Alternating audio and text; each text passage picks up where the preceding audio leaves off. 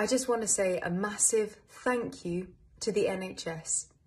Everyone who works at the NHS, from our beloved nurses to the porters to the caterers to the surgeons to the doctors, the psychotherapists, everyone who works there, thank you.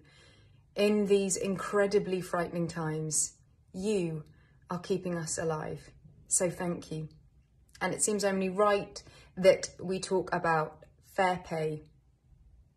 I believe that NHS workers should get what they deserve for doing all that they do for us.